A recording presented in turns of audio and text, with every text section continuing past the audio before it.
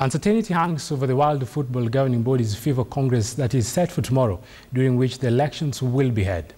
UEFA President Michel Platini asked FIFA's President Sepp Blatter to resign in the wake of the massive corruption claims leveled on the senior officials of FIFA. Blatter, however, refused to step down and even insisted that the elections will go on as scheduled.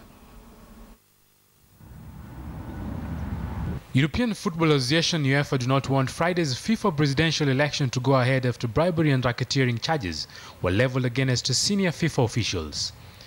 US law enforcement officials shook up and vowed to clean up the world of soccer governing body with a 47-count indictment charging top FIFA officials from Latin America and the Caribbean and several South Florida-based executives with enriching themselves by participating in a 150 million US dollar bribery scheme during the past two decades.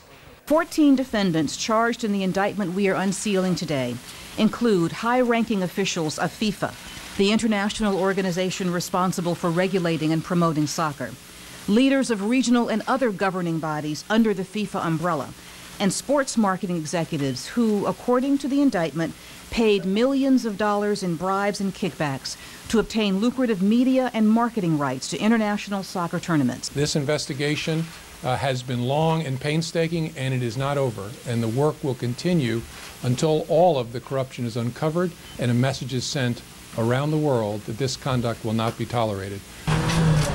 The FBI further raided headquarters of the football body CONCACAF, the Confederation of North, Central American and Caribbean Association Football in Miami Beach.